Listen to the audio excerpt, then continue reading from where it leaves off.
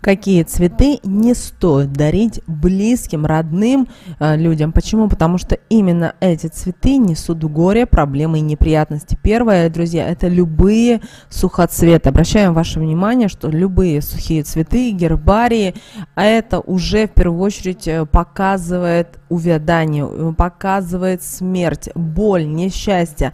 Надо ли такое? Нет. Далее а, любые цветы желтого цвета. Почему? Потому что именно такие цветы означают разлуку и расставание. Далее гвоздики. К сожалению, у нас с вами гвоздики ассоциируются только с похоронами и с войной. Поэтому не стоит эти гвоздики а, дарить. Другое дело, конечно, если любит очень человек именно эти цветы, ну подумайте, но лучше этого не делать.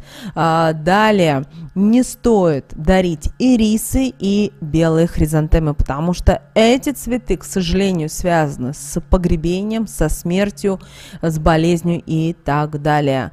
Далее, любые растения в горшках, те растения, которые вы не знаете, а, кто вам их преподносит. То есть, возможно, вы думаете, что это добрый, милый человек, но таким образом, с таким вот растением в горшке, он э, принес вашу жизнь подклад и, соответственно, негативная энергии. Ну и, конечно же, никогда не стоит дарить цветы, которые окрашены в неестественные оттенки. Э, сейчас это очень модно в колбах дарить, э, украшать цветы в те оттенки, которые не существуют в природе. Это не стоит делать, потому что такие цветы несут только боль, горе, проблемы и э, проблемы даже со здоровьем. Подумайте об этом перед тем, как дарить цветы родным и любимым людям.